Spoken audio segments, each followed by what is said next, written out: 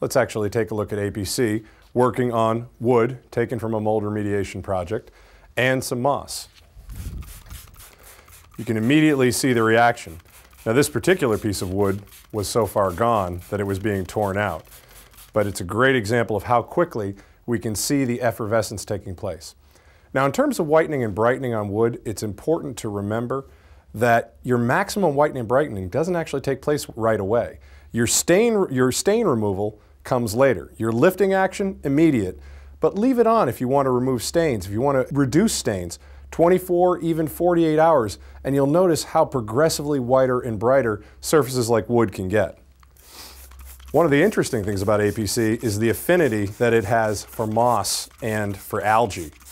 This product is highly reactive and very effective when we're working with moss and algae. Take a look at some of the reaction we're going to get right here.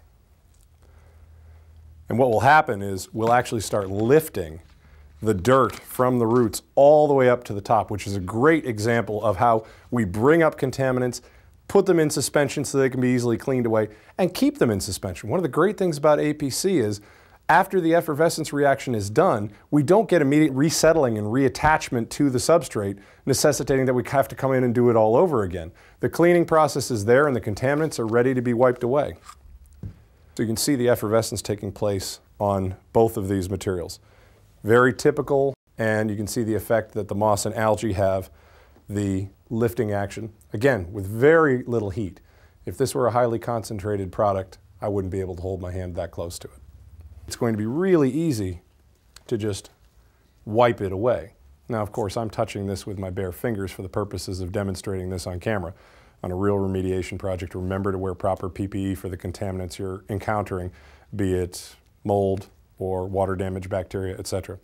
Taking a look at our moss, same thing. It's actually reached down through the moss, lifting the dirt out, so you can imagine how easy it is to use APC to reduce the amount of labor involved in scrubbing and wiping this away.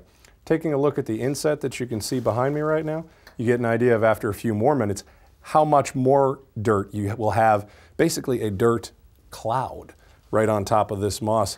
Easy to clean up, wet vac, extract, etc. So Again, what we're talking about with APC is the power of effervescence. And that's not an effervescence that just comes with basic hydrogen peroxide. It's not what you're going to get out of your medicine cabinet. It's a blend of surfactants and stabilizers and the best hydrogen peroxide ingredient that we can bring together in a proprietary formulation to reduce the amount of labor intensive activity for the restoration contractor, make you more competitive and make you more money.